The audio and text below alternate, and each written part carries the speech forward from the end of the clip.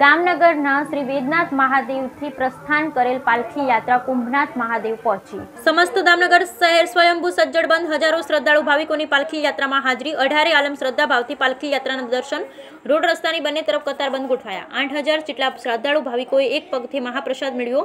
હર હર મહાદેવના ગગનભેદીના નાદ સાથે સિદ્ધિ બાદશાહનું ધમાલ નૃત્ય અને શંખનાદની ધ્વનિ ઝાલરના રણકાર અને તોપથી પુષ્પવૃષ્ટિ ભવ્ય પાલખી યાત્રા શહેરભરની મુખ્ય રાજમાર્ગો પર ફરી. આફરીન કરતા કરતબ કરતા સિદ્ધિ બાદશાહના ધમાલ નૃત્ય આકર્ષણનું કેન્દ્ર સાથે આઠમી પાલખી યાત્રા યોજાઈ.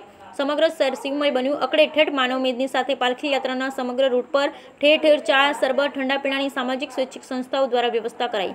અદમ્ય ઉત્સાહ સાથે ભવ્ય આઠથી પાલખી યાત્રા શ્રી કુંભનાથ મહાદેવ મંદિરે વિસર્જન કરાઈ. મહાઆરતીમાં હજારો શ્રદ્ધાળુ ભાવિકોની ઉપસ્થિતિમાં દિવ્ય અને ભવ્ય પાલખી યાત્રા સંપન્ન થઈ. Bureau report નટવલાલજી